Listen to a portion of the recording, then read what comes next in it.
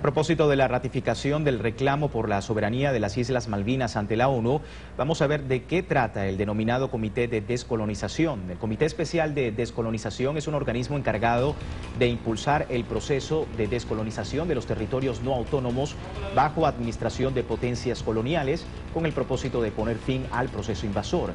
En el año 2013, unos 2 millones de personas viven bajo el dominio colonial en los 16 territorios no autónomos que quedan, entre los que figuran las Islas Malvinas. El organismo establece diálogos entre las potencias administradoras, el Comité Especial de Descolonización de la Asamblea General y los pueblos de los territorios. Sin embargo, los procesos de descolonización son lentos y responden a intereses particulares dentro de la Organización de Naciones Unidas.